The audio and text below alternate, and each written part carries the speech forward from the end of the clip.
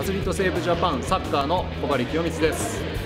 今日は、えー、ゴールキーパー初心者のためのトレーニングとそのトレーニングに、えー、入る前のウォーミングアップをしていきたいと思います。え次のウォーミングアップはボールを叩きつけて高いところでボールをキャッチする、えー、ウォーミングアップになります。ゴールキーパーは、えシュートを受けるだけではなくクロスボールなどを、え対応する際には前に入れて高くジャンプをして空中でボールを取る、えテクニックも入ってきます。そのためのウォーミングアップです。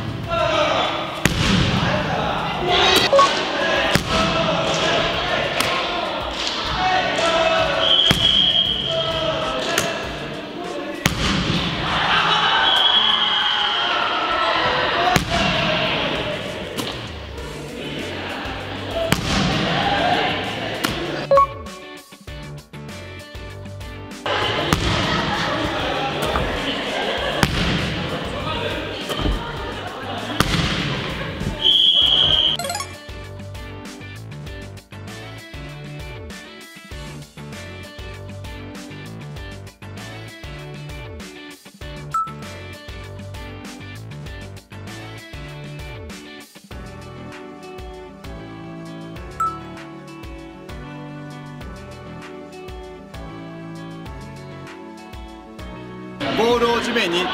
強く叩きつけて、え、ボールを高く上げそのボールに対して自分のジャンプの最高到達点でボールを取る意識をしてください。その際その際にボールを掴む際には先ほどやった両手でボールを掴むことを忘れずに、え、しっかりボールを見て、えー、ボールをキャッチしてください。今回紹介したトレーニングはえ家の中などでも、え工夫してトレーニングができるものなので、えー、ぜひ皆さん毎日コツコツトレーニングをして少しでも上手くなって、え頑張っていってください。ありがとうございました。